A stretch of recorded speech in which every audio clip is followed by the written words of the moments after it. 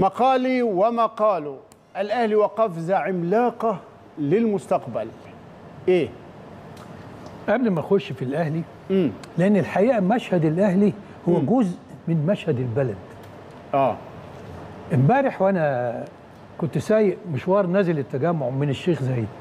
آه أنت من أس... مشوار حلو. من أقصاها لأدناها.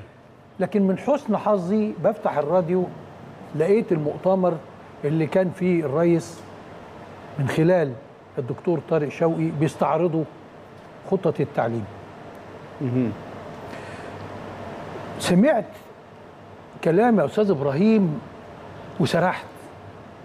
إيه اللي بيحصل في مصر؟ هو ليه اللحظة اللي إحنا عايشينها الناس مش واخدة حقها؟ اللي سمعته عن المجهود الذي بذل في قطاع التعليم وخطة الدولة خطة محكمة آه، فيها رؤية فيها مجهود فيها تحدي غير معقول ما يصدقوش العقل. على كل مراحل التعليم لحد ما يوصل ال- الطفل لأن يكون شاب ويسلمه للتعليم العالي. فحسيت أن الحقيقة التسويق مقصر في حق ما يحدث في البلد. الناس كل واحد شايف الجزئية اللي تخصه. لكن لو ربطنا الأجزاء مع بعضها ما يحدث في مصر أشبه بالمعجزة. أنا أزعم أن من أيام محمد علي لم أرى نهضة في كل اتجاه بالمعنى الحرفي في اتجاه الطرق. ودي ملموسة ودي أكتر حاجة الناس شايفاها. في اتجاه الصحة في اتجاه التعليم في اتجاه الطاقة. ناهيك عن اتجاه السياسة والتحديات التي تشهدها مصر على الحدود. شعرت إن إحنا علينا مسؤولية ضخمة جدا أستاذ إبراهيم كمواطنين. بيتاح لنا الفرصة أمام شاشات التلفزيون واحيانا أمام ميكروفونات الإذاعة أو بقلمك أو بقلم آخرين. إن إحنا لازم نوضح للناس إزاي البلد دي دفعت فاتورة جامدة ها وفي انتظار حصد النتائج. الناس لا تركز. زي ما الجمال يسوق القبح بيسوق بشكل صحيح. أكثر صحيح. آه تركيز. زي ما الحق بيصور بيسوق الباطل. بيروج بيروج. بيروج بشكل أكثر تأثير. صحيح. زي ما الصح بيسوق الخطأ يسوق والتربص يسوق. إحنا عايشين لحظة في منتهى الخطورة.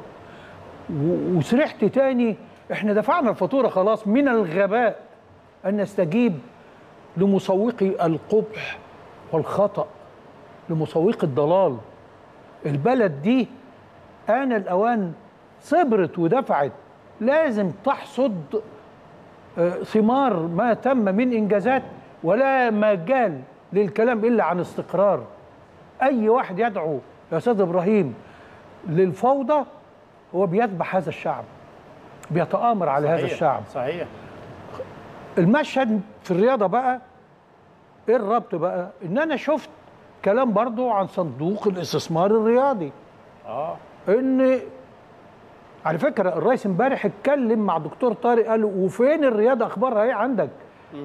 مش عايزينها تبقى زي ما طول عمرها آه، يعني كلاشيه أو شكلية. عايزين كان في كلام إن الطالب هيدرس يومين أو ثلاثة في المدرسة بالذات في المراحل يعني معينة آه، ويقعد يومين ثلاثة في البيت ويتاخد حضور وانصراف وهو في البيت من خلال الآلية آلية اونلاين دراسة. أنا مش الناس اللي كانت بتسخر من محاولات آه، تحديث الدراسة إنها تبقى اونلاين السنة اللي فاتت. أنتوا متخيلين كان في في كورونا جت وإحنا مش مستعدين؟ آه. كان حصل إيه؟ كان حصل إيه في التعليم؟ صحيح. ربك هو اللي بينقذ لحسن النوايا والإخلاص النوايا والمجهود اللي بيوزن. ذلك آه قال له الرياضة الرئيس مهتم بالرياضة بشكل مش شكلي. هو عايز إن الناس تمارس الرياضة. وقال له وهم في البيت يمارسوا الرياضة. آه. أتيحوا لهم هذا. وهناك برامج في هذا الكلام.